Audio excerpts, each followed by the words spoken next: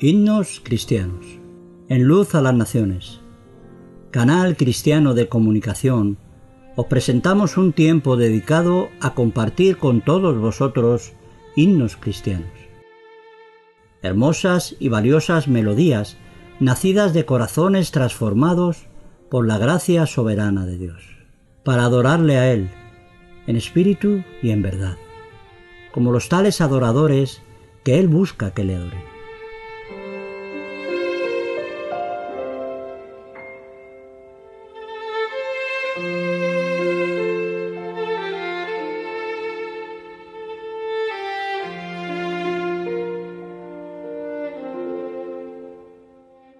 himnos cristianos, en luz a las naciones, una voz de salvación a tu corazón.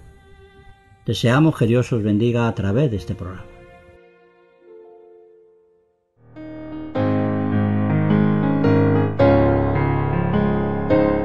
La historia detrás del himno.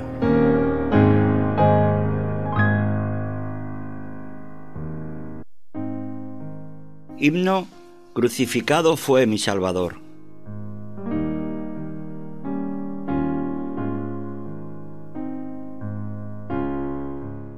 Robert Lowry.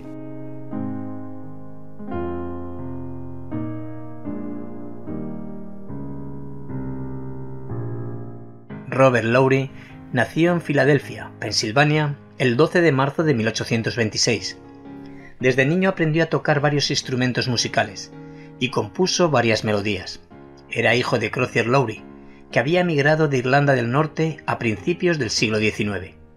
En 1843, cuando tenía 17 años, Robert experimentó una experiencia de conversión genuina.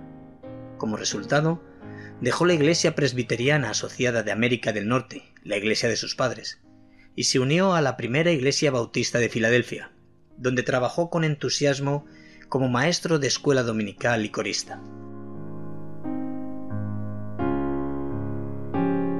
En 1848 Lowry fue alentado por su pastor George Barton Ide para prepararse para el trabajo de una vida en el ministerio cristiano. Con este fin, Lowry inició estudios en la Universidad de Lewisburg, ahora Universidad Buckner. La universidad era entonces recién fundada y debido a la falta de locales, las clases se impartían en el sótano de la iglesia bautista. En ese momento, Lowry se estaba ganando una reputación como predicador y escritor de himnos, y mostró su talento organizando el coro de la universidad y enseñando música a sus compañeros de estudios. En 1854 se graduó con los más altos honores y ese mismo año fue ordenado ministro bautista. También en ese año se casó con Anne Rees. En 1875 obtuvo un doctorado honorario en divinidades. También compiló a lo largo de su vida varios seminarios los cuales fueron publicados en los Estados Unidos. Lowry era reconocido por su disciplina, su don para la oratoria y su gran sentido del humor.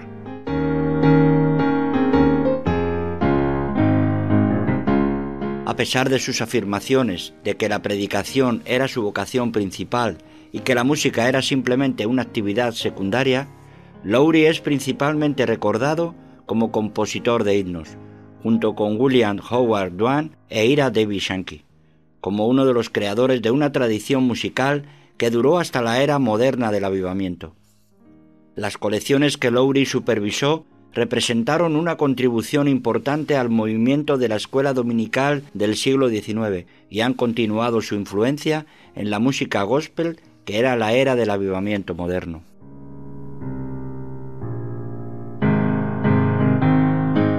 El himnólogo metodista Carl Priest describe la música de Lowry, Duane y Sankey como una ilustración de la curva de las melodías modernas de las reuniones de oración estadounidenses, a medida que avanza desde el ritmo más digno de la música de la iglesia hasta el pegadizo y animado jingle de la balada popular. Un himno, dijo Lowry, debe ser fácilmente comprendido y reflejar las propias experiencias del escritor con palabras fuertes e inspiradoras.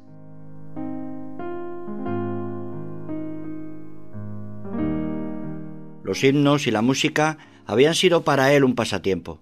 Sin embargo, al ver el gran éxito de varios de sus himnarios, sintió la obligación de prepararse mejor para esta labor, lo que lo llevó a estudiar con mayor profundidad la música, la composición y la armonía. Se dice que llegó a tener una de las mejores bibliotecas de música de los Estados Unidos. Sobre cómo componía los himnos, él dijo, No tengo método, a veces viene la música y las palabras le siguen. Estoy pendiente de mi estado anímico y cuando me llega algo bueno, sea letra o música, sin importar dónde esté, en casa o en la calle, lo escribo. A veces un periódico o el reverso de un sobre me sirve de libreta. Mi cerebro es como una máquina que gira constantemente, creo yo, porque siempre hay música en él todo el tiempo. No escribo la música basándome en las teclas de un instrumento. La melodía de casi todos los himnos que he escrito se ha completado en el papel antes de interpretarla en el órgano. A menudo las palabras del himno y la música se han escrito al mismo tiempo.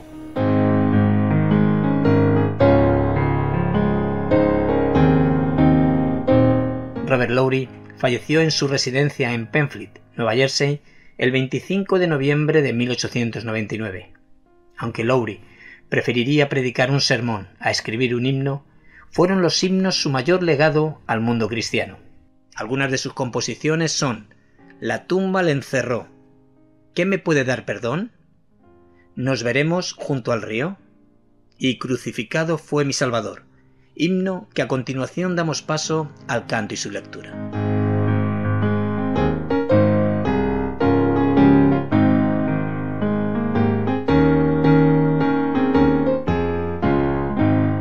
Crucificado fue mi Salvador, por mis pecados sé, Cristo el Señor. Desde la tumba subió, sí, triunfante Él resucitó. Para siempre ya dominio sobre el mal, con los santos tienen gloria celestial. Triunfó, triunfó, aleluya, Él triunfó. Inútil la prisión del Salvador, vana la detención de mi Señor. La muerte ya venció, Cristo el Señor, la salvación nos dio el Redentor.